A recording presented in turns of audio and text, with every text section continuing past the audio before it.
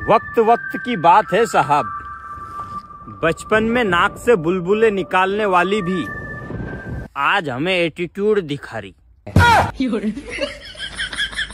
English में बात करें, इंग्लिश में।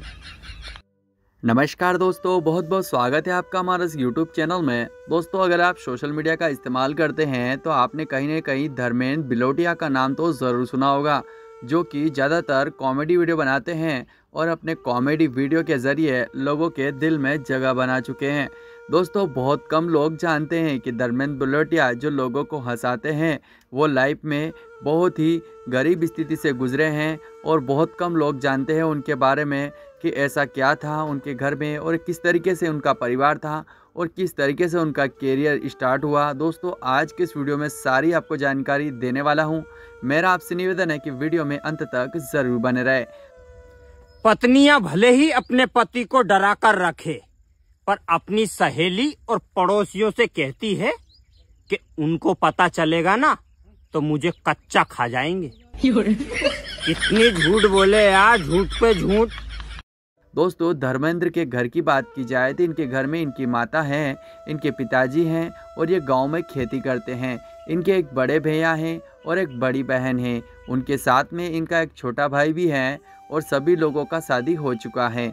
और दोस्तों, ये मीडियम फैमिली से ताल्लुक़ रखते हैं और आपको बता दें कि इनके दो बड़े भाई हैं और एक छोटी बहन है। और होम टाउन की बात की जाए तो नरसिंहगढ़ के गाजिया गाँव से ताल्लुक़ रखते हैं। अब बात की जाए इनके कैरियर की तो दोस्तों धर्मेंद्र बिलोटिया यह काम करने से पहले मजदूरी का काम करते थे।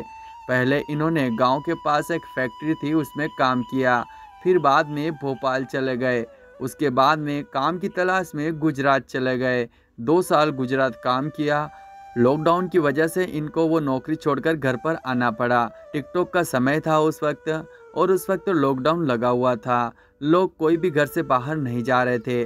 तभी इनके सामने एक कॉमेडी वीडियो आता है और इस वीडियो को देखकर इन्होंने सोचा कि क्यों ना मैं एक छोटा सा वीडियो बना देता हूँ। मुझे साजन के घर जाना है। थप्पड़ मार दूँगा मैं।